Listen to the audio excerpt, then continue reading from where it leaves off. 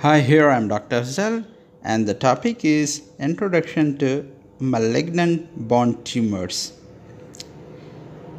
Before discussing the types of malignant bone tumors, we must know the differences in between benign versus malignant bone tumors. That benign bone tumors having the well defined and narrowed zone of transition, while the malignant bone tumors have ill defined borders and wide zone of transition.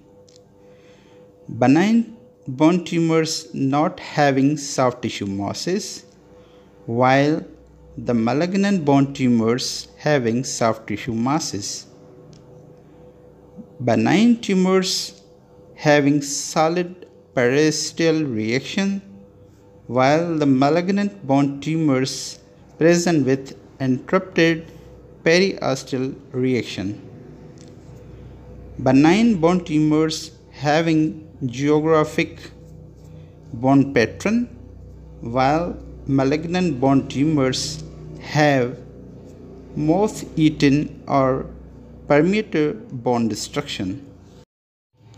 There are many malignant bone tumors, but I will discuss the most common and well known malignant bone tumors such as osteosarcoma, Ewing sarcoma, chondrosarcoma, multiple myeloma, fibroma, adenomas, and lymphomas. It's amazing to tell that all these malignant bone tumors have male predilection. Further, they are commoner after 40 years of age. And majority of malignant bone tumors usually affect the lower femur and upper tibia. Now I will discuss osteosarcoma. Osteosarcoma, these are the second most common primary bone tumors after the multiple myeloma accounting for 20% of all the primary bone tumors and they are the most radio resistant. Osteosarcoma leading to osteoid formation that is like a bone but devoid of mineralization. Histologically, the conventional osteosarcoma is the most common. Osteosarcoma is of two forms the primary osteosarcoma and the secondary osteosarcoma. Primary osteosarcoma usually occurs in ages between 10 to 20 years because the growth centers are active in this age group.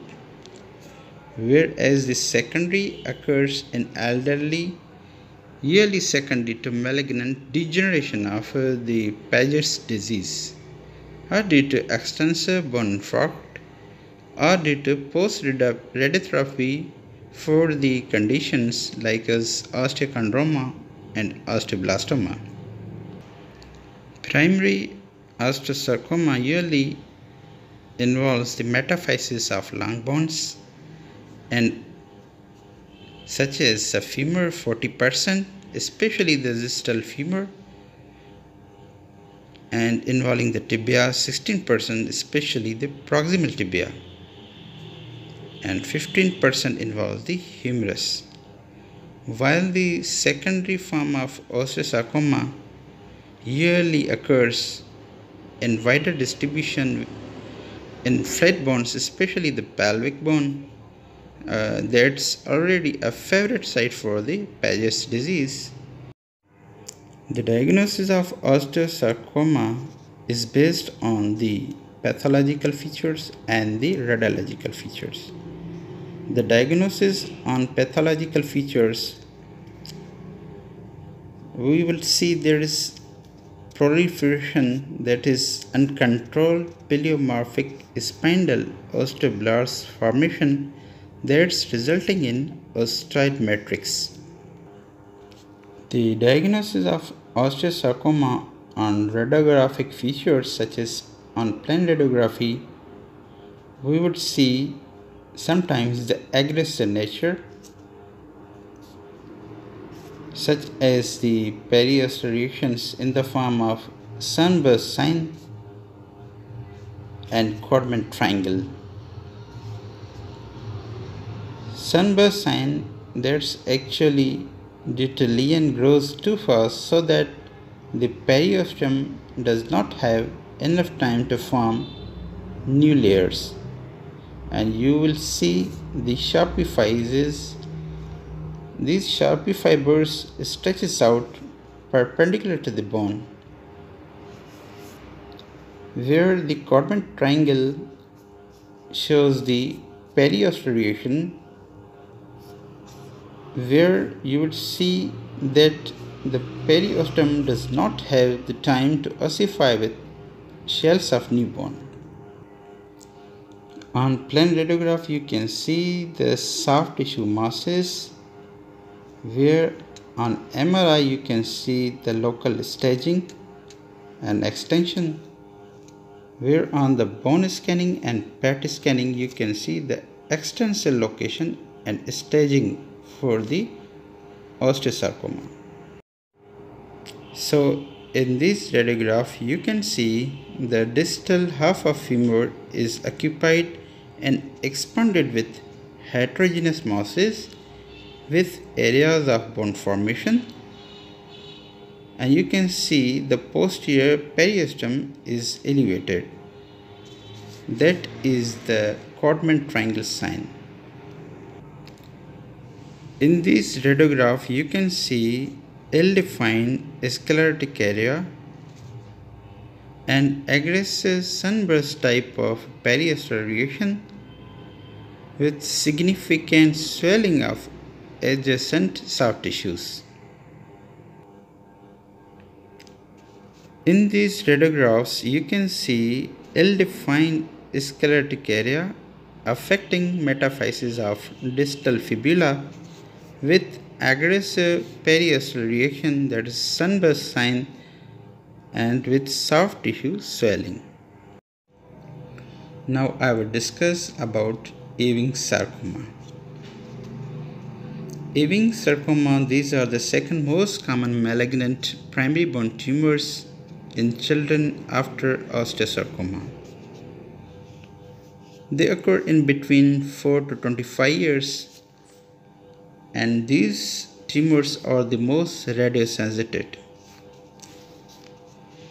Typically, these tumors arising from medullary cavity and causing the invasion of Haversian system There is a hallmark sign that is onion skin periostitis that is also called lamellar sign.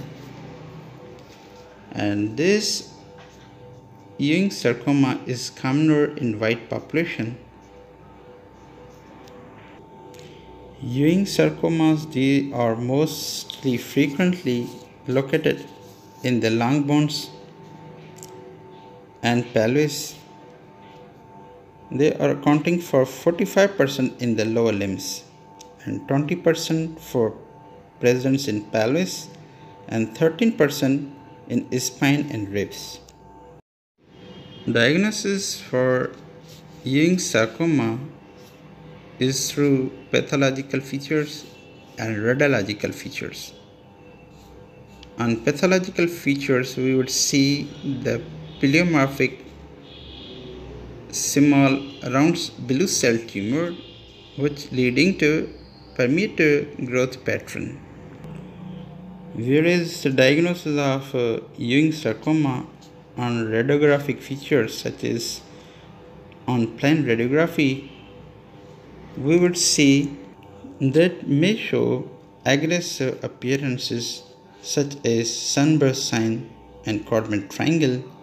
However, 76% they are permeative and may show the hallmark sign that is called the lamellated onion skin periosteal that is accounting 57% and 40% shows the sclerosis. They show the wide zone of transition and may demonstrate extension into adjacent soft tissues. In this radiograph you can see there is a mid-diaphyseal humeral lesion which has a permeative appearance of the lesion that the tumor is moving through the bone but without destroying the, all the trabecula and showing the lamellated periosteal reaction. In this radiograph, you can see ill-defined lucency in the distal femur with wide zone of transition and onion skin periosteal reaction. Now I will discuss the chondrosarcomas. The chondrosarcomas, these are the malignant cartilaginous tumors that accounts for 25% of all the primary malignant bone tumors. Most commonly these are found in all patients such as between 40 to 50 years and these tumors usually occur within the long bones. Chondrosarcoma occurs at various locations. Mostly they are 45% occurring in long bones. The reason is that the cartilage is more abundant in the long tubular bones and 20 to 35% occurring in the femur and 25% occurring in the pelvis and also occurring in the proximal humerus. Chondrosarcomas can be diagnosed through pathological features and radiological features. On pathological features, we will see multilobulated due to hyaline cartilage nodules with central high water content and peripheral endochondral ossification resulting into rings and arcs calcification also called the popcorn calcification. Chondrosarcoma are divided into 3 to 4 grades based on cellularity.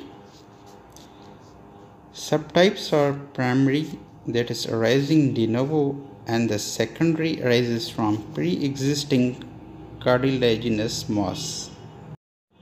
The diagnosis of chondrosarcoma on plain radiography, we can see that accounting 50% lytic lesions and you can notice the intralesional calcification that is 70% in the form of rings and arcs calcifications also called the popcorn calcification and there is other sign that is endosteal scalloping and moth-eaten appearance.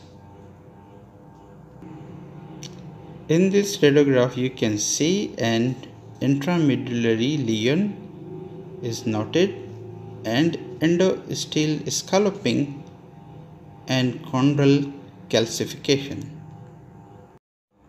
Now I will discuss multiple myeloma. Multiple myeloma is also called plasma cell myeloma.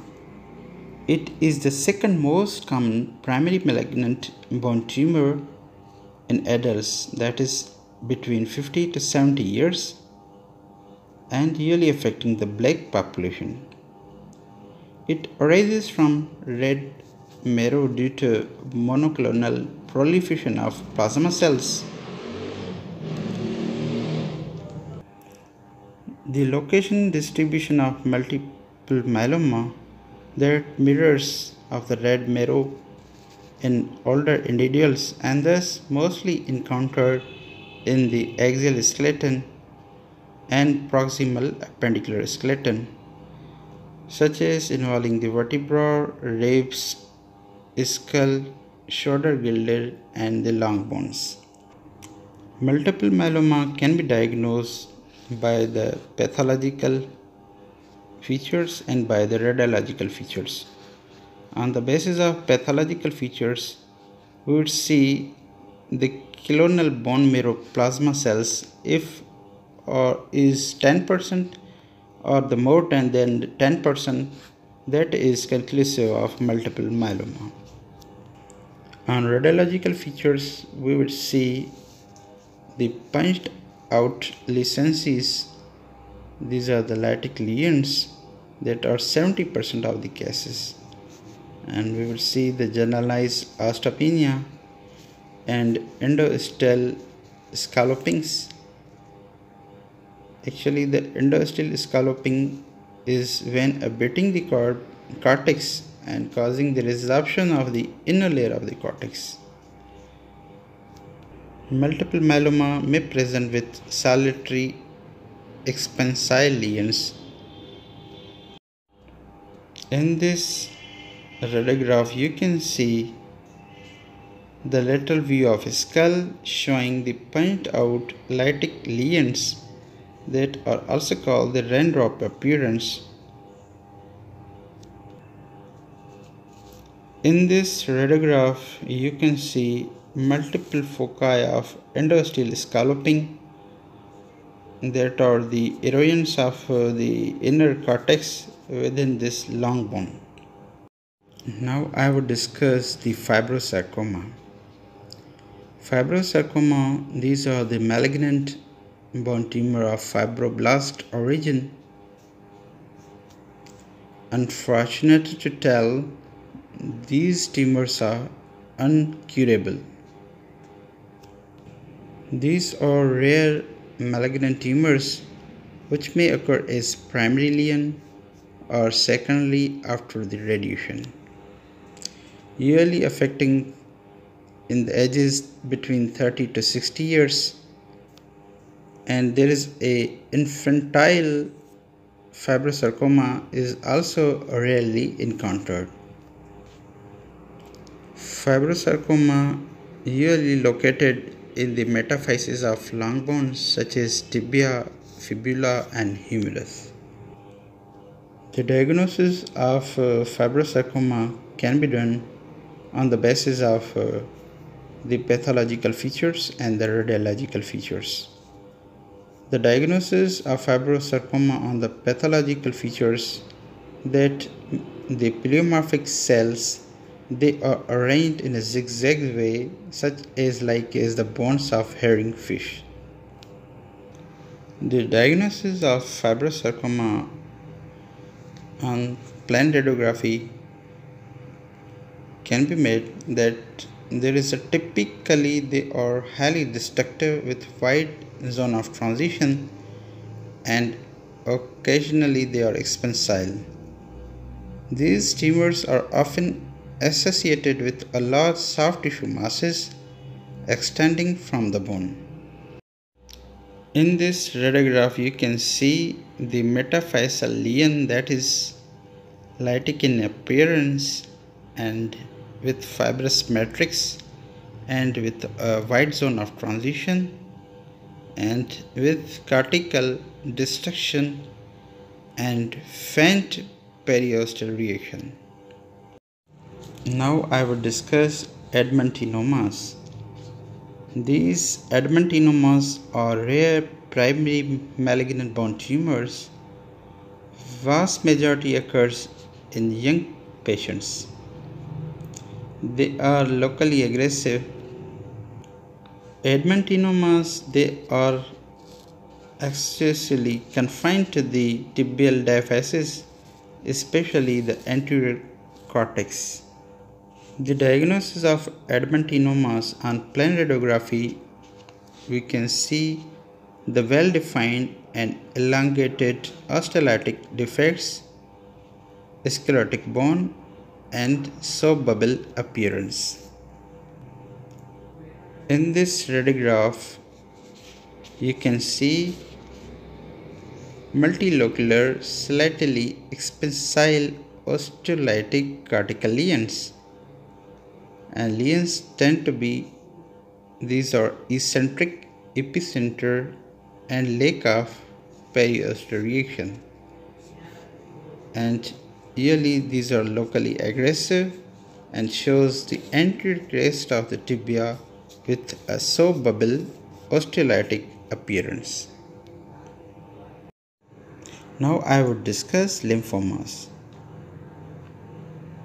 The lymphomas are rare malignant tumors that accounting for less than 5% of the bone tumors. Presence of lymphoma is isolated to one bone and the peak incidence is 50 to 60 years. Lymphoma usually occurs in the pelvis and femur and usually occurs in the region of persistent red marrow. Diagnosis of uh, lymphoma can be performed on plain radiography and may show no specific features. However, may show lytic, sclerotic or mixed type of lesions with wide zone of transition and permeated type of bone destruction. In this radiograph you can see the permeated type of uh, lesion with lytic lesion with moth eaten lesions you can see reactive sclerosis and slight periosteal reaction. Please subscribe my channel for more videos and updates.